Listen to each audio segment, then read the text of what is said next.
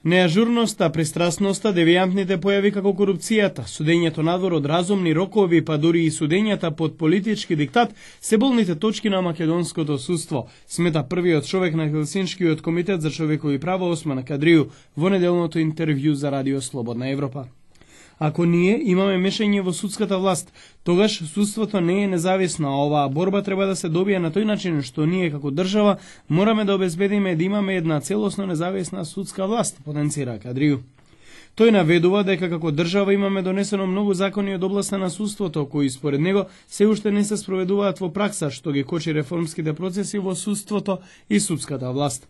Во предкривичната постапка прво имаме повреден уставниот принцип, презумција на невиност, истакнува Кадрију. Второ додава тој спектакуларните апсења се непотребни и трето, и притворот представува рестриктивна мерка и мора да се води сметка за дословно да се почитува законската одредба, кога притворот е нужен, неминовен, потребен.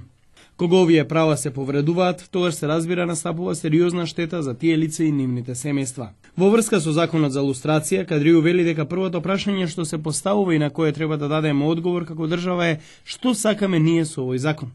Дали на вистина сакаме да ја спроведуваме лустрацијата како што треба или преку законот за лустрација сакаме да постигнеме одредени политички цели.